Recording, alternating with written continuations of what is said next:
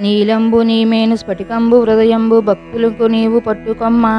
నిన్ను వర్ణింపలేరు నీరజాసనలెన్న రక్షింపగారావి రామచంద్ర ప్రభో. శ్రీ రామదేవుని కథ నాగంభట్టు కాశీ ప్రయాణం. పూర్వకాలమున ఒక బ్రాహ్మణుడు కలడు. ఆ బ్రాహ్మణ పేరు నాగంభట్టు. ఆయనకు ఒక కుమారుడు ఒక కుమార్తె కలరు. కుమారుని పేరు నారాయణ భట్టు. కుమార్తె పేరు నారాయణమ్మ. వారు చాలా పేదవారు భిక్షాటన చేసి కుటుంబ పోషణ చేసుకునేవారట. అలా కొన్నాళ్ళు అయ్యేసరికి నాగంభట్టుకు కాశీకి వెళ్ళి ధనము సంపాదించుకోవాలని బుద్ధి పుట్టిందట. భార్యతో చెప్పి తెల్లవారుజామున లేచి కాశీకి ప్రయాణమై వెలుచున్నాడట అలా వెళ్ళగా వెళ్ళగా కొంత దూరం వెళ్ళేసరికి దారిలో సూతురు వారు వేసులు వారు నారదుల వారు ప్రత్యక్షమై ఓ బ్రాహ్మణుడా ఎక్కడికి వెలుచున్నావు అని అడిగిరి. అయ్యా నేను ధనము సంపాదించుకున్నట్టుకు కాశీకి వెలుచున్నానని చెప్పాను. అప్పుడు వారు ఓ వెర్రి బ్రాహ్మణుడా కాశీకి వెళితే నీకు ధనం ఎవరైనా మూటగట్టి ఇస్తారా? కాశీకి వెళితే గంగా స్నానం దొరుకుతుంది విశ్వేశ్వర దర్శనం దొరుకుతుంది అన్నపూర్ణ దర్శనం దొరుకుతుంది బిందు మాధవుని దర్శనం దొరుకుతుంది. కానీ కాశీకి వెళితే నీకు ధనము మూటగట్టు ఎవరిస్తారు? మేము ఓ కథ చెబుతాం వింటావా అని అడిగారు. నాగంబట్టు అది ఏ దేవుని కథో వివరించండి స్వామి అని వేడుకను నారదుడు చెప్పడం మొదలుపెట్టాడు. పూర్వకాలమున కోసలమనే రాజ్యము కలదు. ఆ రాజ్యమును పాలించేవాడు దశరథ మహారాజు. ఆయన పిల్లల కోసం పిల్లల కోసం ఒక పుత్ర కామేష్టి యాగము చేయగా దేవతలు ప్రత్యక్షమై పాయస పాత్ర ఇచ్చినారు. అతడు అది పట్టుకొని వెళ్ళి తన భార్యలకు కౌసల్య సుమిత్ర కైకేయి అని ముగ్గురు రాణులకుని ఇచ్చినారు. వారు ముగ్గురు పాయసం భుజించగానే గర్భవతులైరు. నవమాసములు నిండగా చైత్ర శుద్ధ నవమి నాడు పునర్వశువు నక్షత్రమున శ్రీరామ లక్ష్మణ భరత శత్రుఘ్నులు నలుగురు కుమారులు జన్మించినారు. వారు దినదిన ప్రవర్తమానులై బాలచంద్ర వలె పెరుగుచుండెరి. కొన్నాళ్ళు అయ్యేసరికి విశ్వామిత్రుడు వచ్చి రామలక్ష్మణులిద్దరిని యాగ సంరక్షణార్థము తనతో పంపమని దశరథ మహారాజును అడుగగా విశ్వామిత్రునితో రామలక్ష్మణులను పంపుటకు దశరథ మహారాజు అంగీకరించగా ముని వారిద్దరికీ బల అతిబల విద్యలను నేర్పెను. రాముడు తాటకిని చంపి శివుని విల్లు విరిచి సీతను పెండ్లయాడి అహల్య శాప విమోచనము చేసి పరశురాముని గర్భభంగము చేసి కైక వరము చేత పద్నాలుగేండ్ల అరణ్యవాసంలో ఉండగా రావణాసురుడు సీతను ఎత్తుకుపోగా లంకాపురంకి ఏగి లంకాదహనము చేసి రావణాసురుని వధించి విభీషణునికి పట్టము కట్టి అయోధ్యకు తిరిగి వచ్చి పట్టాభిషక్తులై సుఖముగా రాజ్యమును ఏలుచుండెను అని వారు ఆ విప్రునికి మరలా రామదేవుని వ్రత కథా విధానం ఇట్లు చెప్పిరి. ఐదు లక్షవారములు ఐదు ఆదివారములు పూజ చేసి ఆవునేతితో దీపము పెట్టి ఆవు పాలు గోధుమ రవ్వ పంచదార కలిపి ఐదు ఉండలుగా ప్రసాదము చేసి రామదేవునికి నైవేద్యం పెట్టవలెను. ఒక ఉండ రామదేవునికి ఒక ఉండ బ్రాహ్మణులకి ఒక ఉండ ముత్తైదువులకు ఒక ఉండ ఇరుగు పొరుగు వారికి ఒక ఉండ భార్యాపిల్లలు అంతా కలిసి తినవలెనని ఆ విధముగా ఐదు లక్షవారములు పూజ చేయవలెనని ఈ విధముగా నారదుడు చెప్పినది విని నా నాగంబట్టు వెంటనే తిరిగి తన ఇంటికి వెళ్ళిపోయి భార్యాపిల్లలతో కలిసి ఐదై ఐదు లక్షవారములు ఐదు ఆదివారములు రామదేవుని వ్రతము ఆచరించి కథ చెప్పుకొని తత్ఫలితముగా తన లాభమును కలుగుటను గుర్తించినాడు. అందువలన ఐదైదు వారములతోనే ఆపివేయకుండా తదంతరము కూడా యథావిధిగా నిత్యము రామదేవుని కథ చెప్పుకుంటూ అష్ట ఐశ్వర్యములతో ఇష్ట సంపదలతో తొలతూగుతున్నాడట. అలాగను కొంతకాలం అయ్యేసరికి ఇదివరకు కాశీకి వెళ్ళవల్లని అనుకున్నాను కానీ వెళ్ళలేదు. ఇప్పుడు వెళ్దామనుకుని కొంచెం ధనము మూట కట్టుకుని కాశీకావిడి భుజం మీద వేసుకుని కుమారుని కుమార్తెను పిలిచి అబ్బాయి అమ్మాయి మీరు రామదేవుని కథ మానకుండా శ్రద్ధగా చెప్పుకుంటూ ఉండమని చెప్పి నాగంబట్టు కాశీ ప్రయాణమై వెళ్ళిపోయాను. ఆ మరునాడు కుమారుడు యాయవారంకి వెళ్ళి వచ్చి అమ్మ రామదేవుని కథ చెబుతాను విందువుగాని రామ్మ అని పిలువగా ఆ తల్లి నాయనా వృద్ధున్నే దాసీది పాచి పనికి వచ్చే వేళ వంట వేళ అయినది ఇప్పుడు కథ వినలేనా నేను? మళ్ళీ రాత్రి వేళ కథ చెబుతాను విందువుగాని రా అమ్మ అనగా ఇప్పుడేం కథ నాయనా? పడక వేళ ఇప్పుడు వినను అనెను. ఆ అకారణముగా రామదేవునికి కోపం వచ్చినది. ఎలా వచ్చిన ఐశ్వర్యములు అలాగనే వెళ్ళిపోయినవట. బిందెలు చెంబులు గిన్నెలు అన్నీ దొల్లిగిల్లి ఇరుగు పొరుగు వారింటికి వెళ్ళిపోవచ్చునవట. పూర్వం నుండి ముష్టి ఎత్తుకునే చిల్లు రాగి చెంబు కూడా దొర్లిపోవచ్చున్నదట. అప్పుడు నారాయణమ్మ చూసి అమ్మ అదైనా ఉంచమని కోరవే అమ్మ అని చెప్పగా అదైనా ఉంచు రామదేవుడా తండ్రి అని కోరగా ఆ చెంబు తప్ప మిగతావన్నీ వెడిలిపోయినవట. వారి గూటిలో ఉన్న వెండి కంచము కూడా దొల్లిపోతూ ఉండగా తల్లి ఆ కంచం అంచు పట్టుకొని లాగిందట. అతడు ఆ సగం అంచుగల భాగం ఊడిపోయి మిగిలింది ప్రక్క ఇంటికి వెళ్ళిపోయిందట. మరునాడు ఉదయం పని మీద పొరిగింటికి వెళ్ళిన నాగంబట్టు భార్య వారింటిలో ఉన్న సగం అంచు కంచమును చూసి ఈ కంచం మాదే అన్నదట. అందుపై ఆ ఇంటివారు మీ కంచం మా ఇంటికి ఎలా వచ్చిందమ్మా? మేము మీ ఇంటికి వచ్చినామా? మీరు మా ఇంటికి వచ్చినారా? కాబట్టి ఈ కంచం మాదే అన్నారట. నాగంబట్టు భార్య అలాగని కాదు మా ఇంటిలో ఈ ఈ కంచము సగం అంచు ఉన్నది. పట్టుకొస్తానని. తన ఇంటికి వచ్చి ఇంటిలో ఉన్న కంచం అంచు పట్టుకొని వెళ్ళి అంచును కంచమును దగ్గర పెట్టి చూడగా ఆ రెండును అతుక్కుపోయాను. కానీ మొత్తం కంచం మాదే అని వారే ఉంచివేసుకున్నారట నాగంబట్టు భార్య సిగ్గుపడి లజ్జపడి ఇంటికి వచ్చిందట. అప్పుడు కుమారుడు చూసి ఏమన్నారమ్మా? నేను అది మాదేనని చెప్పి వారే ఉంచి వేసుకున్నారని చెప్పాను. అప్పుడు కుమారుడు అవును రామదేవుని కథ చెబుతాను. ఇప్పుడైనా వింటావా అమ్మా అని అడిగాను. కానీ ఆ తల్లి నేను కథ వినను కార్యమో వినను ఏ పని పాటో చేసుకొని బ్రతుకుతాను. కానీ రామదేవుని కథ మాత్రం వినను అన్నది. మరి ఎలా వచ్చిన ఐశ్వర్యము అలాగే వెళ్ళిపోయినది. నీ చెల్లిని మాత్రం తీసుకుని వెళ్ళి ఎవరికైనా ఇచ్చి పెండ్లి చేయమని చెప్పింది. ఆమె ఆజ్ఞ ప్రకారంగా నారాయణ భట్టు చెల్లెల్ని వెంటబెట్టుకుని పరాన్వేషంలో ప్రయాణమైనాడు. వారు ఊరి చివరకు వెళ్ళేసరికి కాశీ నుండి నాగంబట్టు తిరుగు ప్రయాణమై ధనము మూటగట్టుకుని వస్తున్నాడట. కొంత దూరం వచ్చేసరికి ఆయన ఊరి చివరకు వచ్చినాడు. అక్కడ ఒక కోనేరు కనిపించినది. ఆ కోనేటిలో కాళ్ళు కొడుకుని చుండగా ఎక్కడి నుండో ఒక పెద్ద గరుడు పక్షి వచ్చి ఆ డబ్బు మూటను ఎత్తుకొని పోయెను.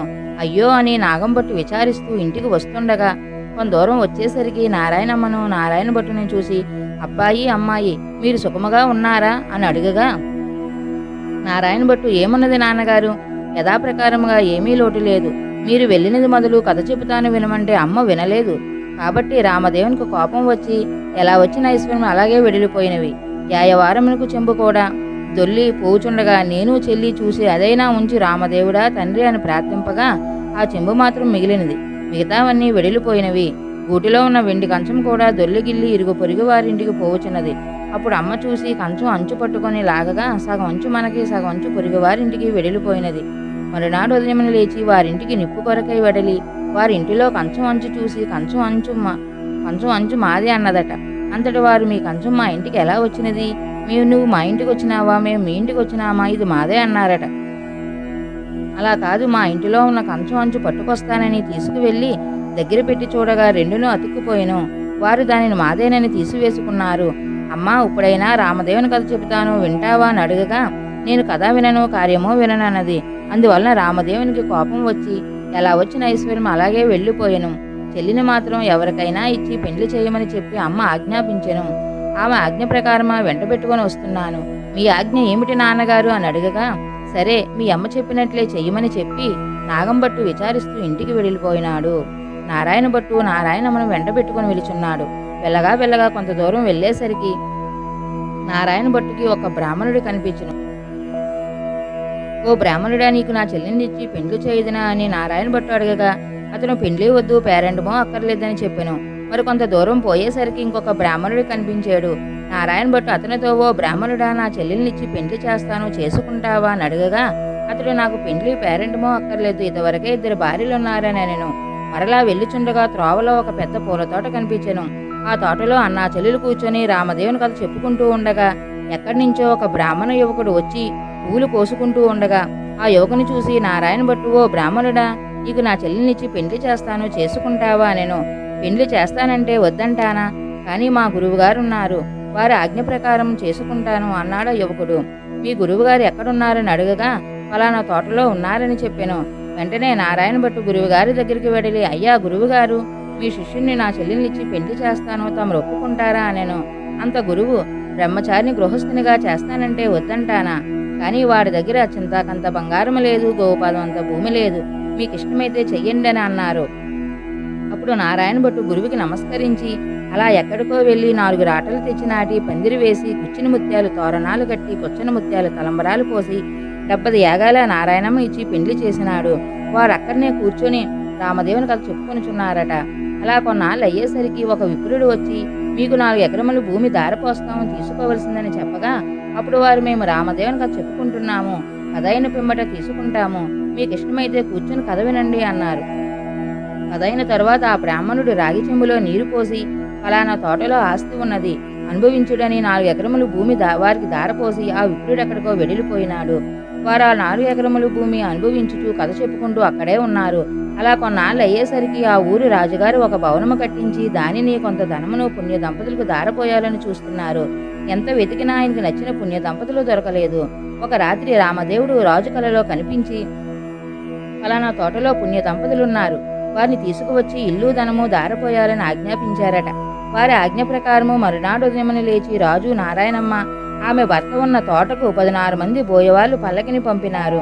వారు అక్కడికి వెడిలి ఏమండోయ్ మా దేశపు రాజుగారు ఒక గృహమును కొంత ధనమును మీ ఇద్దరికూ దారపోస్తారట మిమ్మల్ని వెంట పెట్టుకుని రమ్మని పంపినారు కావున రావలసిందిగా కోరుచున్నామని చెప్పిరి. వారు మేము ఇప్పుడు రామదేవుని కథ చెప్పుకుంటున్నాము. మీకు ఇష్టమైతే కూర్చుని కథ వినండి. తరువాత వెడదామా అనగా బోయిలు కథ విన్న తరువాతనే ఆ పుణ్య దంపతుల్ని తీసుకుని వెడలి రాజుగారికి అప్పగించిరి. రాజు సంతోషముతో ఆ గృహమును ధనమును వారికి దారపోసి వెళ్ళిపోయినారు. అప్పుడు నారాయణమ్మ ఆమె భర్త నారాయణ భట్టు ఆ గృహమును నాలుగు ఎకరముల భూమును అనుభవిస్తూ నిత్యమును రామదేవుని కథ చెప్పుకుంటూ అక్కడనే ఉండసాగారు. కొన్నాళ్ళు అయ్యేసరికి నారాయణ భట్టు అమ్మాయి నేను ఎలా ఎన్నాళ్ళు ఇలా నేను మీ దగ్గరే ఉంటాను? నేను వెళ్ళి రామదేవుని తీసుకువస్తాను. నీవు నీ భర్త కథ మానకుండా చెప్పుకోండి అని చెప్పి తాను ప్రయాణమై వెడలినాడు. నారాయణ భట్టు కొంత దూరం వెళ్ళాక ఒక గ్రామం వచ్చినది. ఆ గ్రామంలో ఒక గొల్లవాణిని చూసి గొల్ల ఈ గ్రామంలో విశేషాలేమిటి అని అడిగాను. ఏమున్నది నాయన? నేను పుట్టుకతోనే అందుడును. వాళ్ళు ఒడ్లు పోసి నన్ను కాపలా కూర్చోమనగా కర్ర పుచ్చుకొని కూర్చున్నాను. నా అవస్థ ఇలా ఉంది బాబు? అన్నాడట.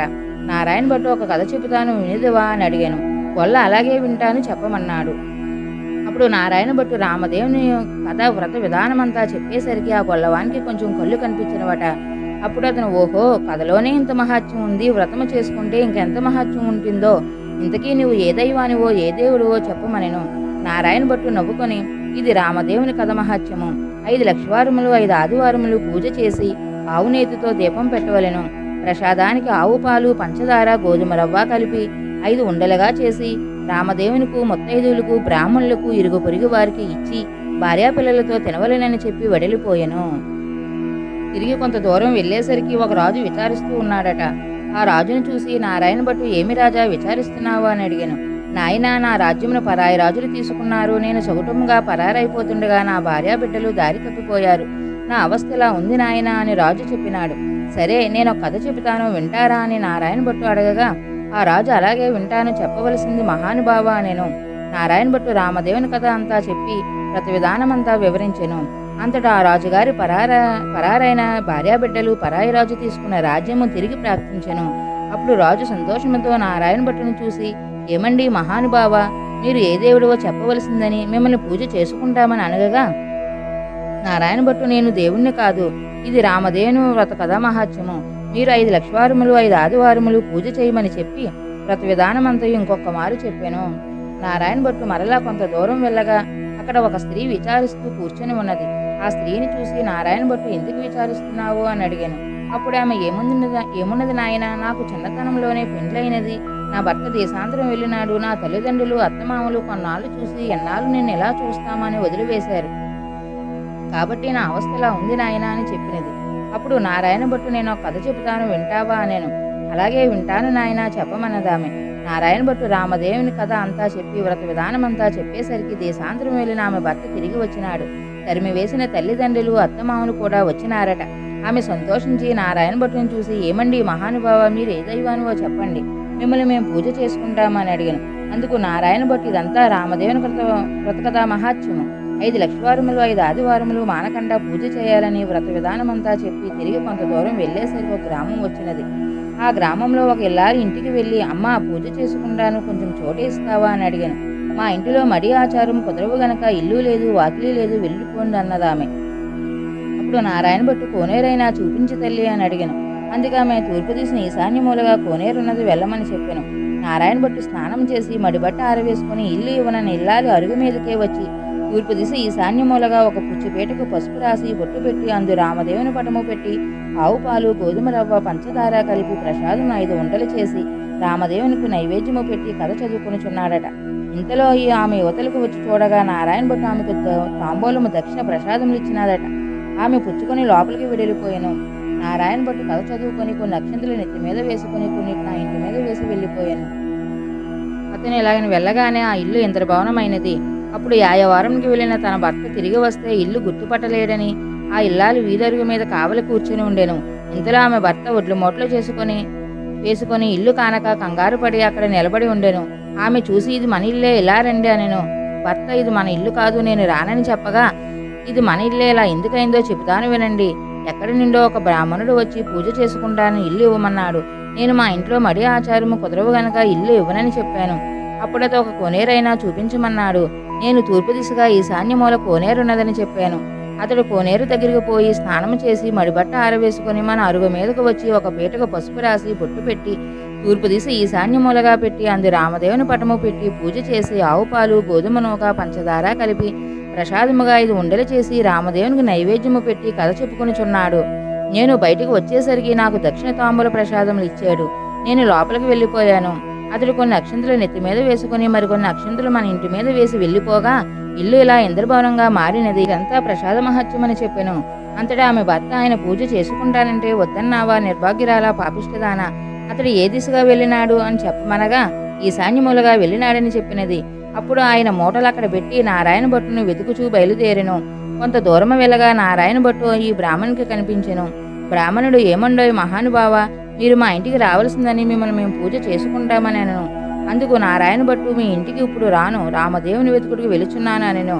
అప్పుడు రా బ్రాహ్మణుడు అలా కాదు మహానుభావ మీరు మా ఇంటికి వచ్చి పూజ చేసుకుంటానంటే మా వాళ్ళు ఇల్లు ఇవ్వనన్నారట. ఆ తప్పు క్షమించి మా ఇంటికి రావాల్సిందని మీరు ఏ దైవానివో చెప్పండి. మేము పూజ చేసుకుంటాం అనగా నారాయణ భట్టు మీ ఇల్లు కాబట్టి మీరు ఇవ్వనన్నారు. మీ తప్పేమీ లేదు. అడగడం నా తప్పే. నేను మీ ఇంటికి ఇప్పుడు రాలేను. రామదేవుని వెతుకుడుకు వెలుచున్నాను.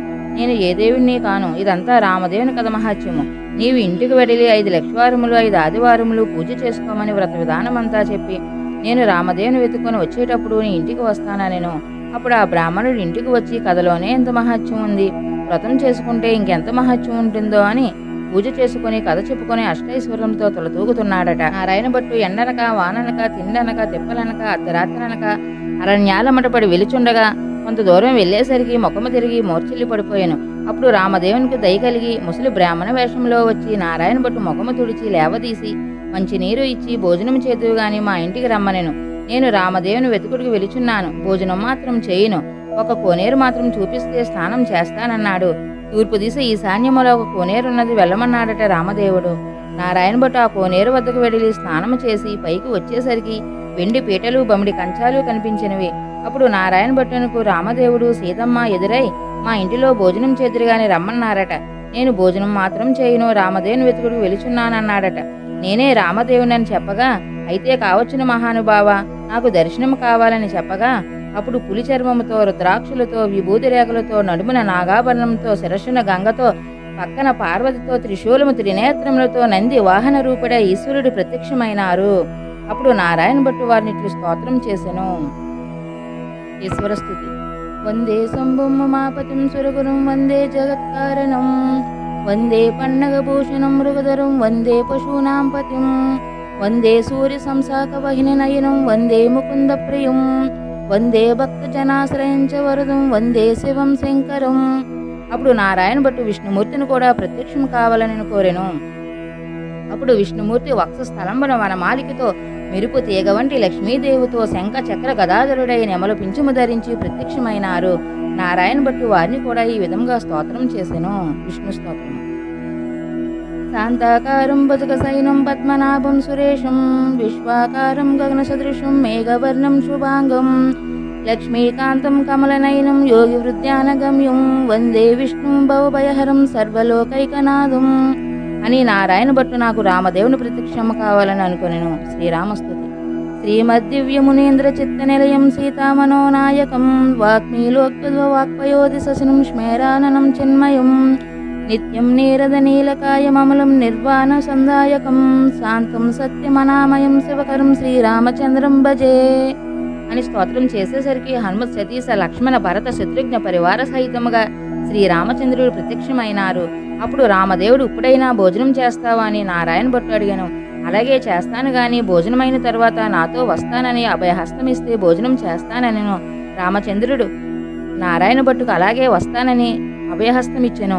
అప్పుడు ఆ సీతామహాతల్లి నాలుగు కూరలు నవకాయ పిండి వంటలతో పంచభక్ష పరమన్నములు వండి వెండి పీటలు బొమ్మిడి కంచాలు వేసి వారు బంధుకోటి సపరివారి సహితముగా రామదేవుని పరివార సహితముగా నారాయణ భట్టుకు భోజనం వడ్డించెను. అందరూ భోజనం చేసి కర్పూర తాంబూలములు వేసుకున్న తరువాత నారాయణ భట్టు తనతో రావలసిందని కోరెను. అప్పుడు ముందు నారాయణ భట్టు అతని వెనుకనే రామదేవుడు బయలుదేరి వెలుచున్నారు. అలా కొంత దూరం వెడిలి రా నారాయణ భట్టు వెనుకకు తిరిగి చూడగా అతనికి అప్పుడు రామదేవుడు కనిపించలేదు. అంత నారాయణ భట్టు ముఖము తిరిగి మూర్చ వచ్చి నేల మీద పడిపోయాను. అప్పుడు రామదేవునికి దయ కలిగి ఒక ముసలి బ్రాహ్మణ వేషంలో వచ్చి నారాయణ భట్టు ముఖము తుడిచి లేవదీసి మంచి నీళ్ళిచ్చి ఏ మెలుగను పడిపోయినావు? అని అడిగాను.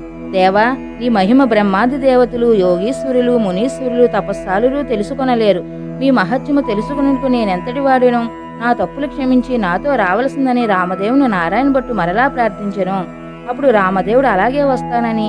నీవు వచ్చినప్పుడు ఎవరి ఇంట్లోకి వెళ్ళినావో వారి ఇంట్లోకి నన్ను కూడా నీ భుజాలపై ఎక్కించుకొని తీసుకువెళ్ళమనిను. నారాయణ భట్టు రామదేవుని తన భుజాలపై ఎక్కించుకొని కొంత దూరం వచ్చేసరికి ఇల్లు ఇవ్వనని చెప్పిన ఇల్లాలి ఇంటికి వచ్చేది అప్పుడు అచ్చట ఆ ఇల్లాలు ఆమె భర్త కూర్చొని రామదేవుని కథ చెప్పుకుని చుండేరి. ఈ విధముగా తొలుత విచార గృహస్థురాలుగా కనిపించిన స్త్రీ ఇంటికి రాజుగారింటికి గొల్లవాని ఇంటికి వచ్చిన వారందరూ రామదేవుని కథ చెప్పుకుని చుండగా విని వారికి అష్టైశ్వర్యములు ఆయుర ఆరోగ్యములు ఎడబాయకుండా సిరి సంపదలు ఇచ్చి వారందరినీ రక్షించారట. అటు పిమ్మట నారాయణ భట్టు రామదేవుని తన చెల్లెలింటికి కూడా తీసుకుని వెళ్ళగా అక్కడ వారు రామదేవుని కథ చెప్పుకుని చుండట చే సంతుష్టులై వారి అష్టైశ్వర్యములు సిరి సంపదలు ఆయుర ఆరోగ్యములు ఇచ్చి కాపాడి రక్షించినారట. అప్పుడు నారాయణమ్మ తన ఇంటికి అన్నయ్య వచ్చినారని కాళ్ళు చేతులు కడుక్కునేట్టుకు నీళ్ళు ఇచ్చి దాహానికి మజ్జిగ ఇచ్చినది. సకల మర్యాదలు చేసినది. అప్పుడు నారాయణ భట్టు మర్యాద చేయనక్కర్లేదు. ఇప్పుడు నేను రామదేవుని తీసుకుని వచ్చుచున్నాను నీవు నీ భర్త మన ఇంటికి రావలను. మనందరం పూజ చేసుకుందామని చెప్పినాడు. అప్పుడు నారాయణమ్మ సంతోషంతో అలాగే వస్తానని నారాయణమ్మ ఆమె భర్త నారాయణ భట్టు రామదేవునితో సహా వారంతా బయలుదేరి వారి గ్రామ పొలిమేట్లకు వచ్చేసరికి గ్రామంలోని వారందరూ కొందరు చూసి వారి తల్లిదండ్రులతో ఏమండోయ్ నాగంభట్టు గారు? మీ అబ్బాయి అమ్మాయి అల్లుడు ఇంకా ఎవరెవరో బయలుదేరి వస్తున్నారని చెప్పినారట. అప్పుడు వారి తల్లిదండ్రులు పరిగెత్తుకుని వచ్చి సంతోషంతో కుమారును కుమార్తెను కౌగులించిపోయినారట అప్పుడు నారాయణ భట్టు చూసి అమ్మ నన్ను ఇప్పుడు ముట్టుకోవద్దు. నేను ఇప్పుడు రామదేవుని తీసుకుని వచ్చుచున్నాను. మీరింటికి వెళ్ళి నాలుగు మూలలు దులిపి నల్లగా అలికి తెల్లగా ముగ్గు పెట్టి పచ్చగా పసుపు రాసి మామిడాకులు తోరణాలు కట్టి ఒక పీటకు పసుపు రాసి బొట్టు పెట్టి తూర్పు దిశ ఈశాన్య మూలగా ఉంచి దానిపై రామదేవుని పటము పెట్టి గోధుమ నూక పంచదార ఆవు పాలు కలిపి ప్రసాదం ఐదు ఉండలు చేసి పూజకన్నీ సిద్ధం చేసాక కబురు చేయండి. అప్పుడు నేను రామదేవుని తీసుకువచ్చిదినని చెప్పినాడు. వారు సంతోషముతో అతడు చెప్పిన ప్రకారము పూజకు అన్నిటినీ సిద్ధము చేసి అతని రమ్మని పిలిచిరి అప్పుడు నారాయణ భట్టు సంతోషముతో రామదే రామదేవుని భుజాలపై ఎక్కించుకొని ఆ గ్రామంలో నాలుగు వీధులు ఊరేగించి ఇంటికి తీసుకుని వెళ్ళినారట. రామదేవుని తీసుకువచ్చి ఆ రామదేవునితో తండ్రి మా ఇంటిలో మీరు కుడిపాదము పెట్టవాలని ప్రార్థించను. అప్పుడు రామదేవుడు వారింటిలో కుడిపాదము పెట్టేసరికి అది పెద్ద ఇంద్రభవనముగా మారిపోయినది. అప్పుడు నారాయణ భట్టు రామదేవునితో పేదవాడును నిన్ను తప్ప అన్య మెరుగునివాడును నీ భక్తులను కాబట్టి అపరాధము గాని అపచారము గాని భావించక. నాకున్న ఈ పుచ్చిపేటయ్యే సింహాసనం అనుకొని దయ ఉంచి దీనిపై తమను కూర్చోవలసిందని వినయముగా ప్రార్థించెను. రామదేవుడు ఆ పీట మీద కూర్చునేసరికి అది వజ్రాలు వైడూర్యాలు కెంపులు మణిమాణిక్యములతో చేసిన బంగారపు సింహాసనముగా మారిందట. అంతట సీతా లక్ష్మణ భరత శత్రుఘ్నాది పరివార సహితంగా శ్రీ రామచంద్రమూర్తి వారింట్లో ఆసీనులై వెలిసినారట. ఆ పూట రామదేవుని వ్రతం చేసుకుని కథ చెప్పుకొని కథాక్షంతులు తమ శిరస్సులపై ధరించేసరికల్లా ఎక్కడి నుండో ఒక బేద బ్రాహ్మణుడు వచ్చి ఏమండోయ్ నాగంభట్టు గారు మా మీ అబ్బాయికి మా అమ్మాయినిచ్చి పెళ్ళి చేస్తాము ఒప్పుకుంటారా? అని అడగగా పెండ్లి చేస్తానంటే వద్దంటానా బాబు అలాగే చేద్దామని చెప్పి నాగంబట్టు పాకలు పందిర్లు వేయించి గుచ్చిన ముత్యాలు తోరణాలు కట్టి గుచ్చన ముత్యాలు తలంబరాలు పోసి నారాయణ భట్టుకి డెబ్బై యాగాల పెండ్లి చేసినారట. నారాయణ భట్టు అతని భార్య నారాయణమ్మ ఆమె భర్త వారంతా మరల రామదేవును రథము పట్టి ఆవు పాలు గోధుమ రవ్వ పంచదార కలిపి ప్రసాదము చేసి ఆవునేతితో దీపము పెట్టి తూర్పువైపు ఈశాన్యమూలగా ఒక పీటకు పసుపు రాసి బొట్టు పెట్టి ఐదు లక్షవారములు ఐదు ఆదివారములు పూజ చేసి నైవేద్యము పెట్టి కథమానకంటా చెప్పుకొనిచున్నారట. వారి భక్తికి మెచ్చి రామదేవుడు వారికి ఆయుర ఆరోగ్యాభివృద్ధి అష్ట ఐశ్వర్యములు ఎడబాయకుండా సిరి సంపదలు ఇచ్చి రక్షించినారట. ఈ నోము ప్రపంచమంతా నోచిరి. నోచిన వారందరూ అష్ట ఐశ్వర్యంతులై సుఖముగా ఉండిరి. రామదేవుని కథ సంపూర్ణం. జై శ్రీరామ్ జై జై శ్రీరామ్.